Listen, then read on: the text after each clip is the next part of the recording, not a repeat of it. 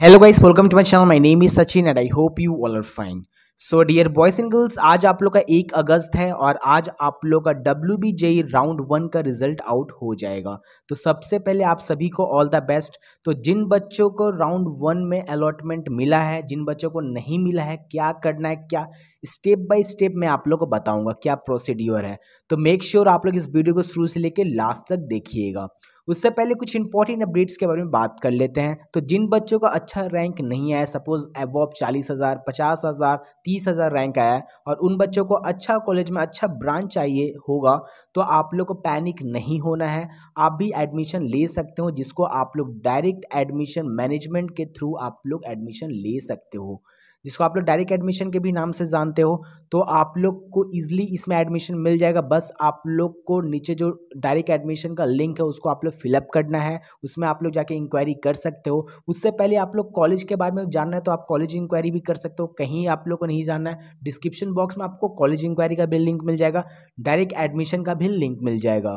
तो direct admission को आप लोग फॉर्म फिलअप कर सकते हो। ऐसा नहीं है कि डायरेक्ट एडमिशन का फॉर्म फिलअप के लिए तो आपको एडमिशन ही लेना है। आप इंक्वायरी भी कर सकते हो, कितना डोनेशन लग रहा है, कितना नहीं लग रहा है। और ये हंड्रेड परसेंट श्योर हो कि आपका हंड्रेड परसेंट एडमिशन हो जाएगा और और वो भी कम से कम डोनेशन में।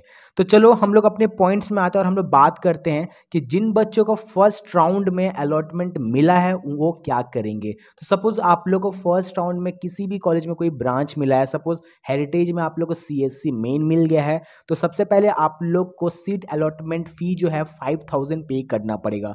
जैसे ही आप लोग सीट अलॉटमेंट फ़ी पे करोगे फाइव हंड्रेड उसके बाद सीट अलॉटमेंट लेटर जो है आप लोग डाउनलोड कर पाओगे। तो उसको आप लोग डाउनलोड कर लेना। उसके बाद आप लोग करना है डॉक्यूमेंट वेरिफिकेशन ये आप लोग का सेकंड स्टेप क्या है? डॉक्यूमेंट वेरिफिकेशन पहला स्टेप आप लोग क्या करना है? फाइव थाउज़ेंड पे करना है। उसके बाद आप लोग करना है डॉक्यूमेंट वेरिफिकेशन जो आप लोग को ऑफलाइन करना होगा, आप लोग कॉलेज में जाकर जो भी आप लोग को फ़र्स्ट अलॉटमेंट में कॉलेज मिला वहाँ आपको जाकर डॉक्यूमेंट वेरिफिकेशन करना है। तो डेट एकदम याद रखना है, एकदम कान खोल सुन लो। एक तारीख से लेकर पाँच तारीख के अंदर में आप लोग को डॉक्यूमेंट वेरिफिकेशन करना है। प्रीवियस ईयर में बहुत सारे ऐसे बच्चे थे जो डेट को क्रॉस कर दिए थे और उनका सीट जो है वो कैंसिल हो गया था। तो मुझे बहुत सारे कमेंट्स कर रहे थे कॉल कर रहे थे जिसका मैं कुछ हेल्प नहीं कर पाऊँगा।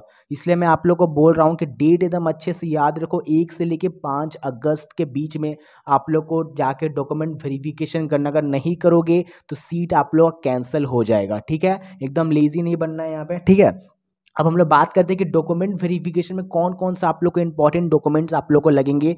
तो आप लोग को सबसे पहले क्लास टेन का एडमिट कार्ड लगेगा। जिन बच्चों को क्लास टेन का एडमिट कार्ड नहीं, वो बर्थ सर्टिफिकेट लेके जा सकते हो। उसके बाद क्लास टेन का आप लोग का मार्कशीट लगेगा सेम आप लोग क्लास ट्वेल्व का लगेगा क्लास ट्वेल्व का एडमिट कार्ड और मार्कशीट लगेगा ठीक है ये हो गया आप लोग का अगर मैं फिर से रिपीट कर रहा हूँ अगर आप लोग के पास एडमिट कार्ड नहीं है तो आप मार्कशीट सॉरी आप बर्थ सर्टिफिकेट को लेके जा सकते हो उसके बाद आप लोग का डब्ल्यू बी जे का आप लोग का रिज़ल्ट लगेगा जो आप लोग का आप लोग का जो रैंक कार्ड है वो लगेगा उसके बाद आप लोग का डब्ल्यू बी जे का एडमिट कार्ड लगेगा उसके बाद आप लोग का सीट अलॉटमेंट लेटर लगेगा जो आप लोग फाइव थाउज़ेंड पे करोगे आप लोग का सीट अलॉटमेंट का जो लेटर रहेगा वो लगेगा और आप लोग का एक आइडेंटिटी कार्ड रहेगा। जैसे कि आप लोग अपना आधार कार्ड दिखा सकते हो, पैन कार्ड दिखा सकते हो, राशन कार्ड दिखा सकते हो तो आप लोग अपना आधार कार्ड आप लोग लेके जा सकते हो। तो एक आईडी कार्ड आप लोग का लगेगा। तो ये कुछ इंपॉर्टेंट डॉक्यूमेंट्स है, इनको मस्ट कैरी करके लेके जाना।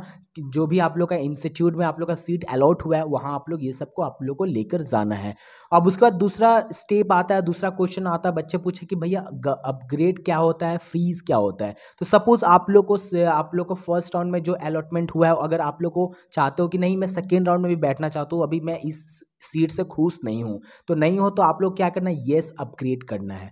और अगर आप लोग खुश हो कि नहीं, मेरे को इसी ब्रांच में एडमिशन लेना है, मुझसे इसी कॉलेज में फ़र्स्ट राउंड में जो कॉलेज मिला है, मुझे इसी में एडमिशन लेना है, तब आप लोग को करना नो अपग्रेड तो आप लोग को ये दोनों ऑप्शन कहाँ मिलेगा? वेबसाइट में मिलेगा। येस अपग्रेड का नो अपग्रेड का, आप लोग को वेबसाइट में, आप लोग को दोनों का मिल जाएगा ऑप्शन तो अगर आप लोग को अपग्रेड करना तो येस अपग्रेड करके आप लोग को उसका लेटर लेकर जाना है इंस्टीट्यूट में, और वहाँ पर आप लोग को अपग्रेड कर देना है। अगर आप लोग को अपग्रेड नहीं करना, अगर आप लोग को सीट को फ्रीज करना है तो आपको क्या करना है? नो अपग्रेड कर नो अपग्रेड का आपको लेटर लेकर जाना है इंस्टीट्यूट में, वहाँ आपको एडमिशन लेना पड़ेगा तब। तो ये दोनों प्रोसीड्योर है, अगर आप लोग ये सब अपग्रेड करोगे तो अभी आप लोग का सीट रहेगा। सीट आप लोग कैंसिल नहीं होगा।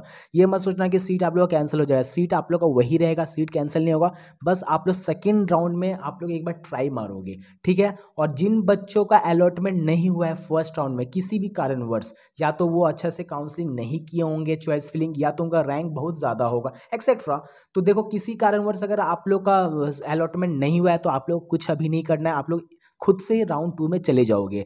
तो मैं फिर से रिपीट करना चाहता हूँ, जिन बच्चों का अच्छा रैंक नहीं है, मेरे को बहुत सारे बच्चे कमेंट करते हैं कि भैया मेरा रैंक इतना अच्छा है, लेकिन मेरे को, मेरा रैंक इतना अच्छा नहीं है, लेकिन मेरे को कंप्यूटर साइंस चाहिए चाहिए था अच्छे कॉलेज में। तो अगर आप भी उसी बच्चों में आते हो, आपका रैंक अच्छा नहीं है, किसी भी कारणवश मैं यहाँ कोई रीज़न का नाम नहीं ले रहा हूँ, किसी भी कारणवश आप लोग का रैंक अच्छा नहीं है, और अगर आप भी चाहते हो कि मुझे टॉप कॉलेजेस जैसे कि आईएम हो गया हेरिटेज हो गया टेक्नो हो गया, हल्दिया हो गया, सारे कॉलेज में मेरे को टॉप ब्रांच चाहिए या कोर ब्रांच ही चाहिए तो मैं कैसे एडमिशन लूँगा तो आप एडमिशन ले सकते हो, जिसको आप लोग डायरेक्ट एडमिशन के नाम से भी जानते हो। बस आपको क्या करना है डायरेक्ट एडमिशन का नीचे फॉर्म फिलअप करना है। लेकिन उससे पहले अगर आपको कॉलेज इंक्वायरी करना है तो कॉलेज इंक्वायरी करो। हर एक बच्चे का अलग अलग डाउट होता है। कोई भी डाउट होता है, हर एक बच्चे का अलग अलग डाउट होता है। तो कोई भी डाउट होता है तो आप लोग, हमारे एक्सपर्ट बैठे हुए हैं जो आपका डाउट सॉल्व करेंगे। तो ये सारी चीज़ आपको फ्री ऑफ़ कॉस्ट में मिल रहा है। ऐसा नहीं है कि डाउट सॉल्व करने का मैं आपसे कुछ पैसा चार्ज कर रहा हूँ। नहीं, एकदम फ्री ऑफ़ कॉस्ट है। और डाउट को राइज करो बिकॉज़ आप लोग यहाँ पर चार साल टाइम इन्वेस्ट करोगे, पैसा इन्वेस्ट करोगे,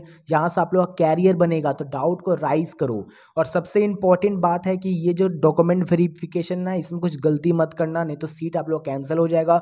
दूसरा, एक से लेकर पाँच, जैसे कि मैं पहले भी बोला था कि कान खोल के सुन लो, एक से लेकर पाँच के बीच में ही आप लोग को डॉक्यूमेंट वेरिफिकेशन करवाना है। प्रीवियस में बहुत सारे सब बच्चे जो, बच्चे थे जो डेट को क्रॉस कर दिए थे तो इस साल ये सब नहीं होना चाहिए। एक से लेकर पाँच के अंदर में आपको क्या करना डॉक्यूमेंट वेरिफिकेशन करवाना है। जिस भी कॉलेज में आप लोग का अलर्ट हुआ है, उस कॉलेज में जाके डॉक्यूमेंट वेरिफिकेशन कराओ। आप सभी को ऑल द बेस्ट फॉर्म को ज़रूर फिलअप करना। सारे फॉर्म आप लोग को डिस्क्रिप्शन बॉक्स में मिल जाएँगे। आप सभी को ऑल द बेस्ट अच्छे से प्रिपरेशन करो।